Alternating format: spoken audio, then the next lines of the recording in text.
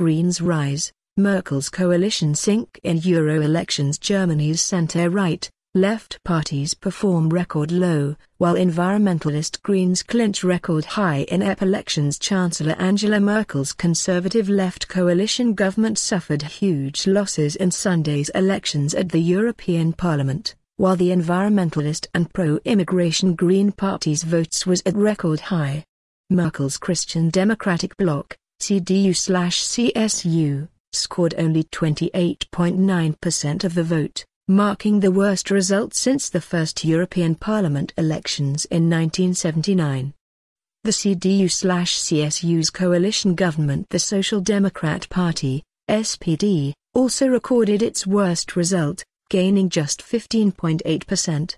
Germany's opposition Green Party managed to record the best election result in their history, winning 20.5%, according to the preliminary election results.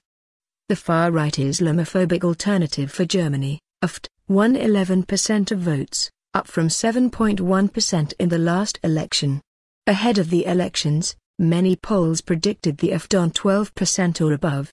While the party performed below its expectations nationwide, it managed to become the strongest party in the eastern states of Brandenburg and Saxony.